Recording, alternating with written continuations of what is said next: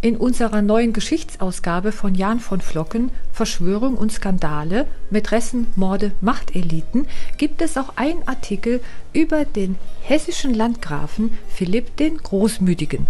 Das hat mich sehr gefreut, denn in entsprechenden Dokumentationen zu unserer Geschichte bleibt er oft unerwähnt. Deshalb auf nach Marburg. Hier ist sein Landgrafenschloss. Es wurde als Burg im 11. Jahrhundert angelegt und ist von großem kunsthistorischem Interesse. Eine stärkere Rolle in der Politik hatte das Marburger Schloss allerdings unter Landgraf Philipp dem Großmütigen. Ihm gelang nicht nur eine Einigung Hessens. Hier in Marburg führte er 1526 die Reformation ein und gründete die erste protestantische Universität der Welt. Dazu gab es auch Katechismusschulen, in denen Bauernkinder aus der Bibel lernten, und er gründete vier sogenannte Hohe Hospitäler. Das waren Einrichtungen zur Armen- und Altenpflege. Philipp heißt nicht umsonst der Großmütige. Er war auch einer der ersten Bildungs- und Sozialpolitiker. Im Schloss fand im Oktober 1529 auch das Marburger Religionsgespräch mit Martin Luther und Ulrich Zwingli statt.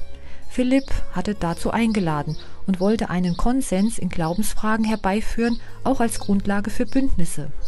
Er war Freund und großer Unterstützer Luthers, der ihm später auch seinen privaten Wunsch nach einer Zweitehe legitimieren sollte.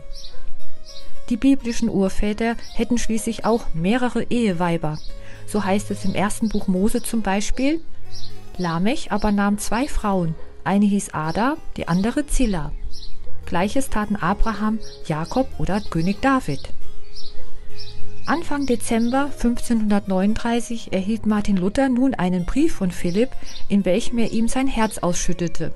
Er verlangte Luthers theologischen Segen zu einer Ehe mit zwei Frauen.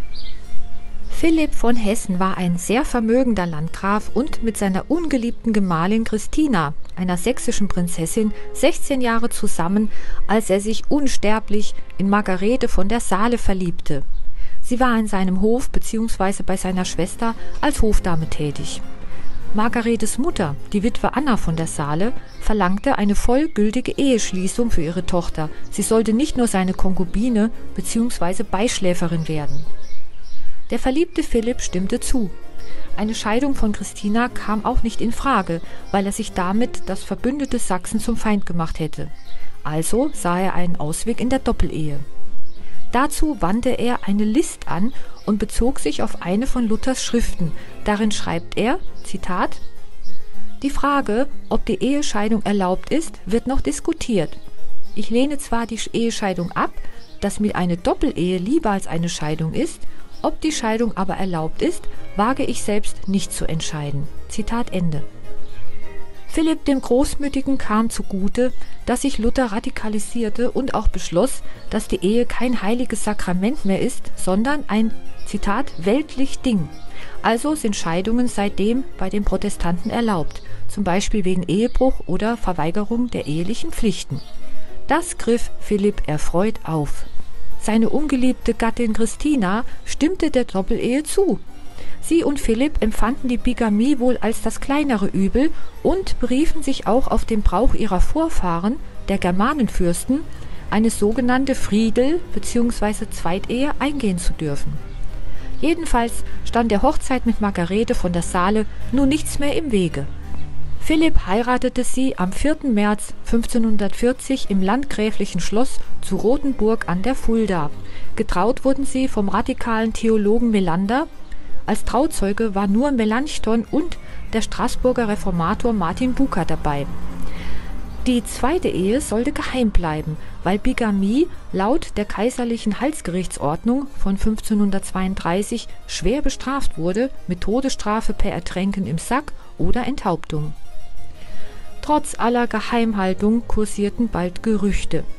Herzog Heinrich der Fromme von Sachsen verschaffte sich als Onkel der Landgräfin Christina Klarheit. Die Affäre wurde bekannt und von der katholischen Fraktion aufgegriffen. Philipp der Großmütige verlor daraufhin seinen langjährigen Kampfgefährten, Herzog Ulrich von Württemberg. Philipp wurde zwar nicht enthauptet oder ertränkt, musste aber eine fünfjährige Gefangenschaft bei Kaiser Karl V. ertragen. aber nicht nur wegen seiner Zweitehe. Philipp war einer der ersten protestantischen Adligen und Widersacher von Kaiser Karl V. Nach dem Augsburger Reichstag von 1530 und der Erneuerung des Wormser Edikts gehörte Philipp nämlich zu jenen, denen bewusst war, dass nur ein gemeinsames Bündnis aller Protestanten Schutz gegen den katholischen Kaiser bieten kann. Das führte 1530 zur Gründung des Schmalkaldischen Bundes. Im Schmalkaldischen Krieg 1546 bis 47 konnte Kaiser Karl V. die Protestanten besiegen. Ihr Bund wurde aufgelöst. Also saß Philipp jetzt nicht nur wegen seiner Zweitehe beim Kaiser im Kerker. Sogar seine erste Ehefrau Christina bat den Kaiser auf Knien um Freilassung ihres treulosen Gatten. Er kam schließlich frei und lebte dann noch gut 20 Jahre glücklich weiter mit seinen beiden Ehefrauen und seinen insgesamt 18 Kindern.